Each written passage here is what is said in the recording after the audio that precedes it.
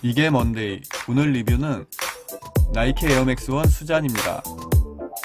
스톱모션 애니메이션 스튜디오 라이카의 영화인 미싱 링크의 주인공 미스터 링크를 표현한 special edition 제품으로 미스터 링크의 애칭인 수잔을 모델명으로 따왔습니다.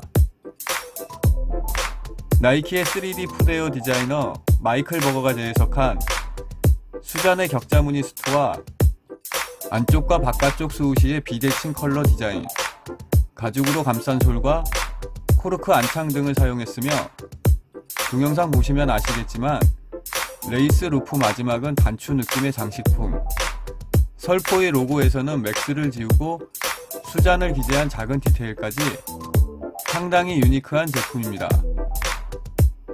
특히 스웨이드 배색과 sole을 감싼 브라운 색상 가죽은 상당히 인상적이네요. 사용된 소재 때문인지 무게감이 있으며 보기에는 신발이 커 보이는데 실착 시 발볼 쪽보다는 발 아치 측면 부분이 불편합니다. 편하게 신으시려면 사이즈 반 up 이상 하시는 거 추천합니다. 다양한 제품을 소개하는 이게 먼데이 TV 구독해주세요.